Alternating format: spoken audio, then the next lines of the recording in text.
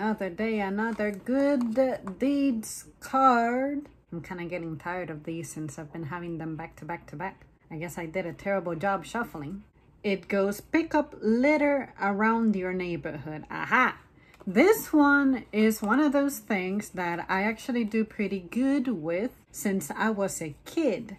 And what inspired me was, of course, science classes.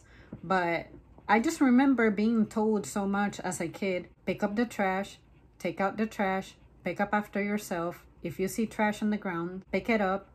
Don't ignore trash. Don't leave trash behind as much as you can within reason pick up trash. It's one of those that I really, really, really, really feel like it goes a long way, even if you don't think it does. I wish that I were a little stronger so that I could lift some of the garbage that some people leave out by the dumpster despite the dumpster having space. But the reason I phrase it like that is because people have been discarding bigger items, even dead ass TVs, which that's the worst because those are things that you're supposed to dispose of more responsibly because it has components that are bad for the environment. But other times people will leave furniture and I'm like, damn it, like, is it really so hard for you to somehow break it down or at least take it to the bigger dumpster that we have on the other end of the community? But anyway, as a kid, it always made me feel fulfilled and happy that I was able to make a difference. In the mornings, there's this older guy who I see pretty much every morning I work, and he is out there at the 7 a.m.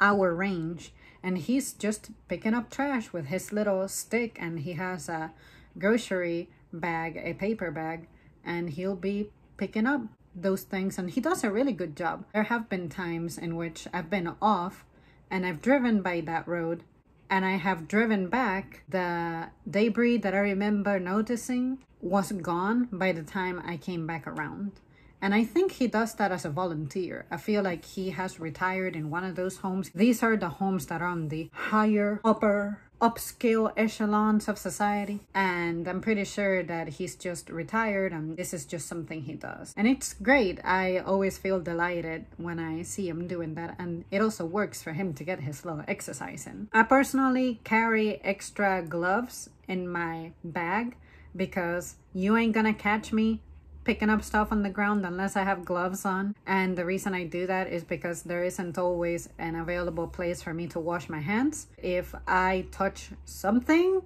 that I'm not supposed to without gloves, I'm going to fall into a coma and we don't need that. That's pretty much it. This one's very simple, straightforward, straight to the point. This is something that I can do and will do with or without this thing telling me.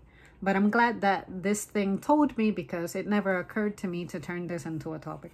Well, there you guys have it. Thank you so much for tuning in. Do you have any interesting litter picking up stories? Let me know.